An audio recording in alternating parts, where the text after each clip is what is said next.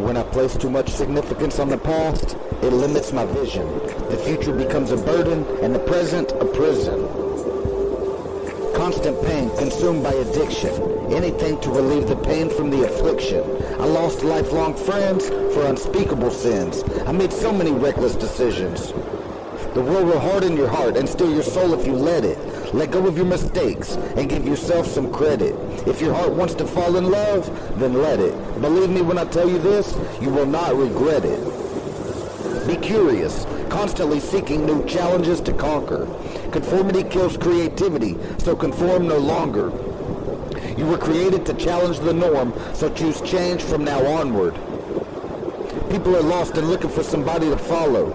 Show them everything, even your mistakes that are difficult to swallow. Don't make promises like politicians whose pledges are hollow. Be a ray of light in a dark world like the sun god Apollo.